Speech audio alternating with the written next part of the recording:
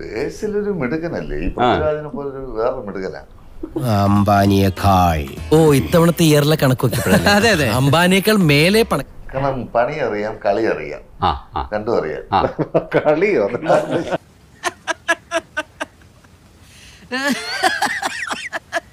അത് അത് വേണോ? അത് നിനക്ക് അതില്ലാത്തത്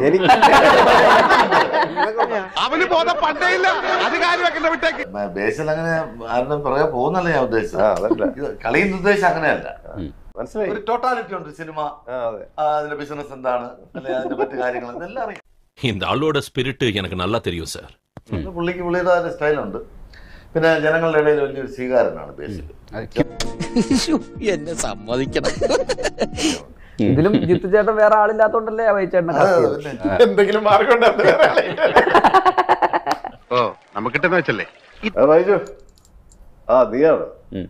എടാ കോപ്പ നീയൊക്കെ ജീവിച്ചിട്ടുണ്ട് അതാണ് ഇവൻ. സിനിമയിൽ ഇത് പറഞ്ഞില്ലെങ്കിൽ അതിശയുണ്ട് ഇതൊരു മാതിരി തറ പരിപാടിയായി പോയി. എന്റെ ജീവിതം കുട്ടിച്ചോറാക്കാനാണ് അച്ഛന്റെ ഉദ്ദേശം. കോപ്പയെന്നല്ല വേറെ പറയാൻ പറ്റില്ല.